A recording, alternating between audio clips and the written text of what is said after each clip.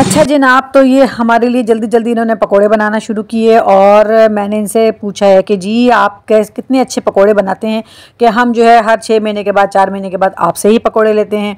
तो उन्होंने कुछ डिटेल बताई है, आप भी सुनिए, हम भी इंजॉय करते हैं। और मेरी वीडियो को लाइक किया करें, सब्सक्राइब किया करें और बेल आइकन को ज़रूर क्लिक किया करें।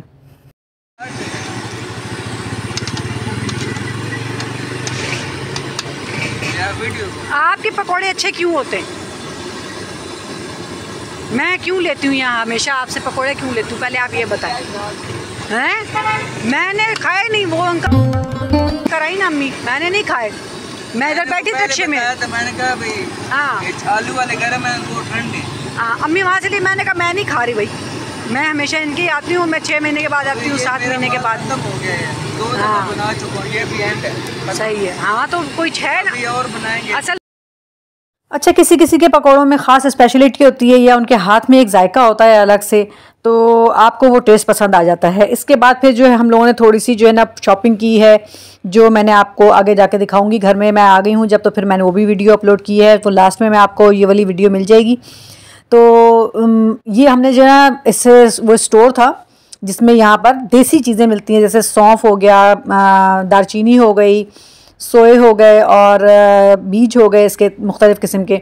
तो ये पंसार की दुकान कहलाती है वहाँ पर और यहाँ पे हर किस्म के आपको बीज मिल जाते हैं, हर किस्म की आपको मतलब ट्रेडिशनल जितनी भी चीज़ें हैं, आपकी बीज वगैरह एवरीथिंग ये सोए, मेथरे एवरीथिंग ये जो चीज़ें हैं ना, जो जो मुझे याद है, मैं आपको बता रही हूँ।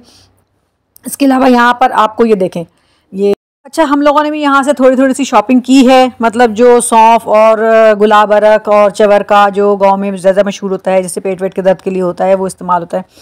तो वो भी हमने यहाँ से परचेज़ की है और फिर हम वापसी की तरफ़ चल पड़े हैं, जी। और रास्ते में जो है ना, ये देखें, ये सारी इन्होंने जलाई हुई है, सब एक्स्ट्रा जो पौधे होते हैं, वो ये लोग जला देते हैं, ताकि इनकी गंदम को जो है ना, वो ज़्यादा कीड़ा ना लगे। और ये देखें, रास्ते में ये जो झाड़ू होते हैं ना, वो वहाँ बनाते हैं स्पेशल और ये इस तरीके से। खड़े करके सूखने के लिए रखते हैं। और यहाँ पर बहुत इंजॉय किया मैंने गाँव का पूरा एरिया तो रास्ते में हमारी हो गई थी जी रिक्शा ख़राब।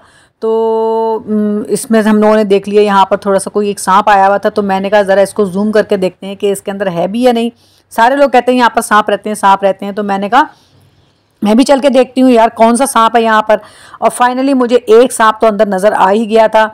मुझे डर भी लग रहा था, लेकिन जो है ना, मैंने फिर भी जूम करके पूरी कोशिश की है कि आपको भी जो है ना, एक सांप इस एरिया में से दिखा दूँ। यहाँ पर असल में बहुत ज़्यादा बड़े बड़े सांप होते हैं। पीछे जो पहाड़ी इलाका है, हमारा चकवाल का तो सारा तो वहाँ पर सांप, अजधा वगैरह सब बड़े बड़े होते हैं। और ये छोटी छोटी जगहों पर भी आपको यहाँ पर स्नैक मिल जाएँगे।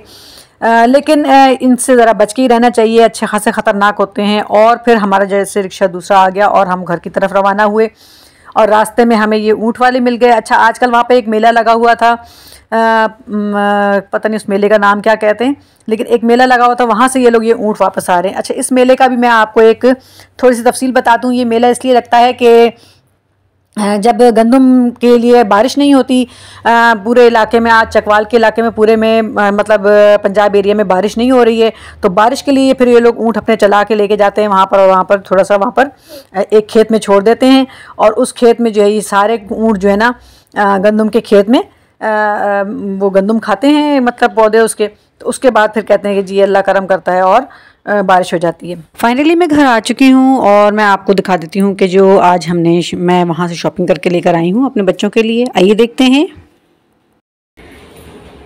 हम लेकर आए हैं जनाब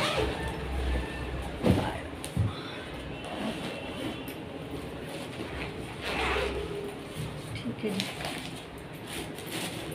मैं लेकर आई हूँ जी यहाँ से घी, ठीक है?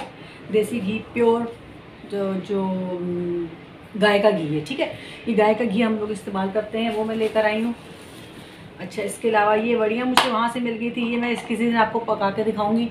बहुत ही ज़बरदस्त चीज़ होती है ये। ये गोश्त के साथ भी पकती है और आलू के साथ भी, फिर मैं आपको इसका रिव्यू दे दूँगी। ठीक है, वहाँ की स्पेशल चीज़ वहाँ की है जी, मिठाई। ये देखिए जी, मिठाई वहाँ की, ठीक है? ये मेरे बच्चों ने स्पेशल मुझसे मंगवाई थी, ठीक है? ये बहुत ज़बरदस्त मिठाई। अच्छा इसके अलावा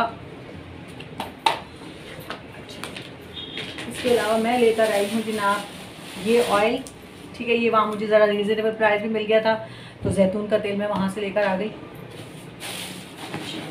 ये पहलवान की रेवड़ी, जो कोई भी नहीं भूलता, ज़ाहिर सी बात है, इसको तो मैंने लाजमी लेकर आना था, इसलिए पहलवान रेवड़ी के दो ही पैकेट लेकर आई हूँ, क्योंकि सिर्फ़ मैं ही खाती हूँ, हमारे घर में और तो कोई इतना खाता नहीं है पहलवान रेवड़ी।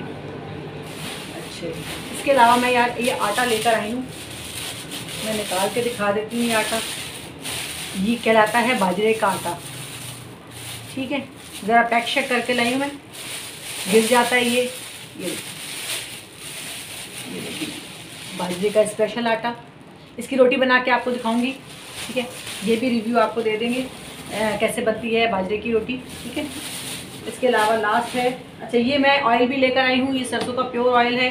अब मैं खोल को तो नहीं दिखा सकती, लेकिन ये प्योर ऑयल है सरसों का, ठीक है? अच्छा उसके अलावा एक स्पेशल चीज़ जो कि है मूँगफली जी।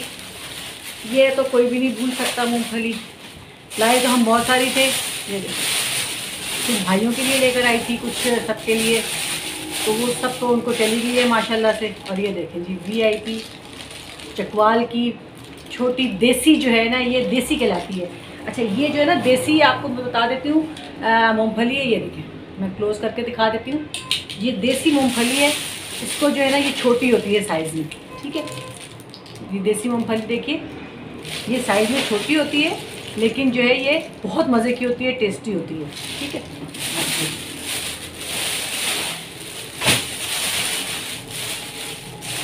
आप आज की मैंने वीडियो आपसे शेयर की है। कि मैंने ये सब चीज़ें आज मैं लेकर के आई हूँ अपने बच्चों के लिए।